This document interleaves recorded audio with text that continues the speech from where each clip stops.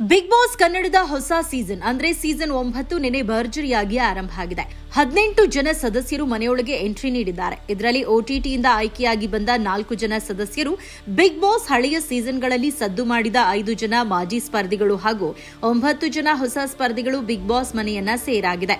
ಇನ್ನು big boss ಮನೆಯಲ್ಲಿ ಮೊದಲ ದಿನವೇ ವಾತಾವರಣ ಕಾವೇರಿದೆ. ಸಾಮಾನ್ಯವಾಗಿ ಮೊದಲ ದಿನ ಒಬ್ರು ಮತ್ತೊಬ್ಬರ ಜೊತೆಗೆ ಪರಿಚಯ ಬೆಳೆಸಿಕೊಳ್ಳುವ, ಸ್ನೇಹ ಮಾಡುವ ವಿಚಾರದ ಕಡೆಗೆ ಗಮನ ನೀಡ್ತಾರೆ.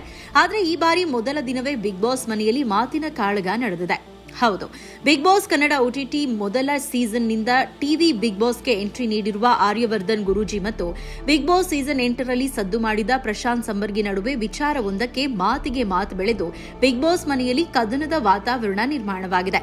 ಹಾಗಾದ್ರೆ ಇಷ್ಟಕ್ಕೂ ಅಲ್ಲಿ ನಡೆದದ್ದೇನು ಅಂತೀರಾ? ಅದಕ್ಕೆ ಉತ್ತರ ಇಲ್ಲಿದೆ ನೋಡಿ. ಮನೆಯ ಸದಸ್ಯರು ಡೈನಿಂಗ್ ಟೇಬಲ್ ಬಳಿ ಕುಳಿತುಕೊಂಡು ಬಹಳ ಖುಷಿಯಿಂದ ಮಾತನಾಡ್ತಾ ಸಮಯವನ್ನ ಕಳೀತಾ ಇದ್ರು. ಈ ವೇಳೆ ಆರ್ಯವರ್ಧನ್ ಗುರುಜಿ ಅವರು, ನಾನು ಇದುವರೆಗೂ ಸುಮಾರು ಹತ್ತು ಲಕ್ಷ ಜನರಿಗೆ ಜ್ಯೋತಿಷ್ಯ ಹೇಳಿರಬಹುದು ಅಂತ ಹೇಳಿದ್ದಾರೆ. ಈ ಮಾತನ್ನ ಕೇಳಿದ ಕೂಡಲೇ ಪ್ರಶಾಂತ್ ಸಂಬರ್ಗಿ ಮಧ್ಯ ಪ್ರವೇಶ ಮಾಡಿ, ಗುರುಜಿ, ಏನೇನೋ ಮಾತಾಡಬೇಡಿ, ಹತ್ತು ಲಕ್ಷ ಅಂತೆಲ್ಲ ಅಂತ ಗುರುಜಿ ಮಾತಿಗೆ ಬ್ರೇಕ್ ಹಾಕಿದ್ದಾರೆ. ಅಲ್ಲಿಂದ ಇಬ್ಬರ ನಡುವೆ ಮಾತಿನ ಚಕಮಕಿ ಆರಂಭ ಆಗಿದೆ. ಈ ವೇಳೆ ಪ್ರಶಾಂತ್ ಸಂಬರ್ಗಿ, ಅಸಲಿಗೆ ಅವರ ಹೆಸರು ಆರ್ಯವರ್ಧನ್ ಅಲ್ಲ ಅಂತ ಮನೆಯ ಅನ್ಯ ಸದಸ್ಯರ ಬಳಿ ಗಟ್ಟಿಯಾಗಿಯೇ ಹೇಳಿದ್ದಾರೆ. ಈ ವೇಳೆ ಆರ್ಯವರ್ಧನ್ ಗುರೂಜಿ ಸಹ ಕೋಪದಿಂದ ಮಾತನಾಡಿದ್ದಾರೆ.